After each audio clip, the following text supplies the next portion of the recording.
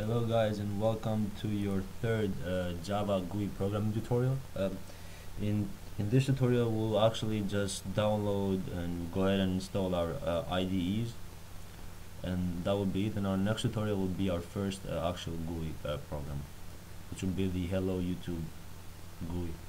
Alright so let's go ahead and uh, with the IDE that I prefer is called Eclipse or Eclipse pretty sure you guys have heard of it. Um, it's right here. And I will provide these links in the description just in case. And uh, so we go to downloads.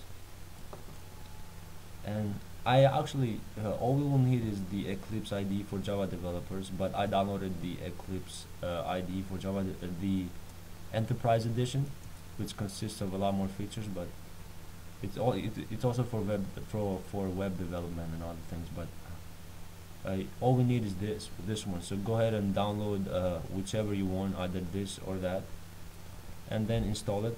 Make sure to select the appropriate OS and download it and install it. That was the first one the Eclipse. The second one is which is very popular it's called NetBeans.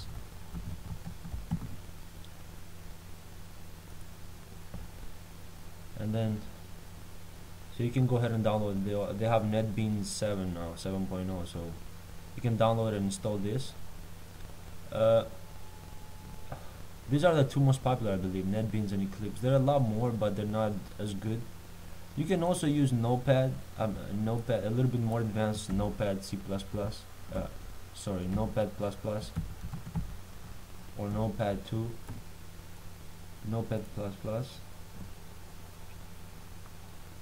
you can use notepad and then use the command line to the java c the java compiler and the command line to actually compile the programs but it's a little bit harder to actually troubleshoot if you actually get something wrong but so those are the uh, three basically most uh, well two most popular IDEs and Notepad uh, Notepad uh, Notepad++, plus which a lot of people use that as well.